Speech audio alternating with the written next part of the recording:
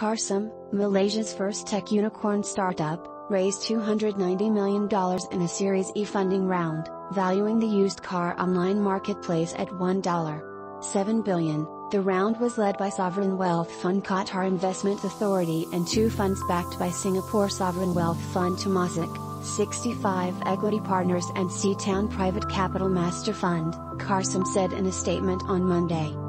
Other investors included four billionaire-backed companies, Jeffrey Cheah's Malaysian conglomerate Sunway, Lance Gokongwei's Philippines conglomerate Gokongwei Group, Tsai Ming-kai's Taiwan chip designer MediaTek, and Francis Yeoh's Malaysian infrastructure conglomerate YTL Group. Telecom company Taiwan Mobile also participated in the funding round. Carsome plans to use the funding to expand its product, technology and infrastructure in Malaysia, Indonesia, and Thailand. The startup also plans to expand Carsome Certified, its business to consumer arm.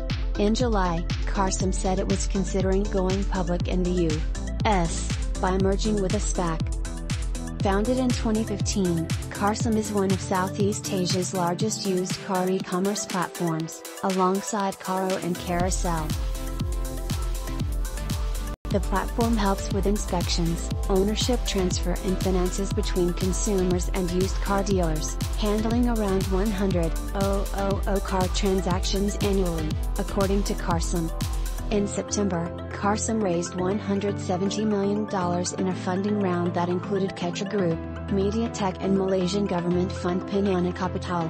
The startup achieved unicorn status in July after a $200 million share swap deal with Australia-listed iCarasia. Meanwhile, Singapore-based Carro, which is backed by the likes of SoftBank, Mitsubishi and Singapore government's investment arm EDBI, also has big plans for growth.